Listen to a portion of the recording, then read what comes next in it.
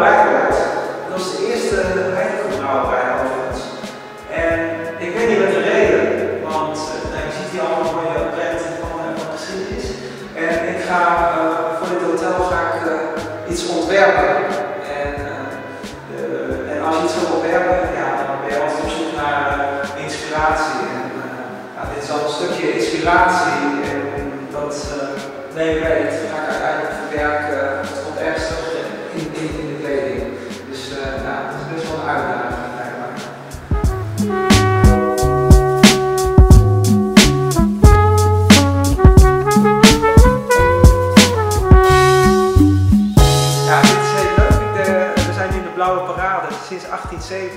Want je zou wel denken, eh, wat is de blauwe parade? Eh, dit is nog steeds eh, die poort van Kleven, hotel in Amsterdam.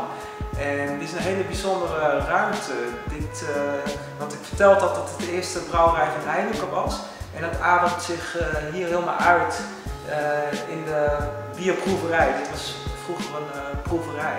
En wat heel markant is, dat zijn de tegeltebloos die hier boven op de wanden zitten. Ja, er komen echt toeristen die komen dit uh, bezichtigen. Het schijnt het grootste te zijn hier, wat hier in Amsterdam uh, gemaakt is.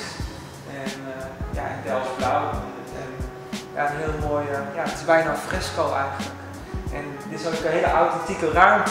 En ja, dat betekent voor mij als ontwerper dat ik ook een stukje uitdaging erbij krijg, een stukje inspiratie wat ik uiteindelijk ook uh, mee wil nemen in, in, in, de kleding. Want dat zou mooi zijn als er uh, ja, een aantal facetten daarin terugkomen.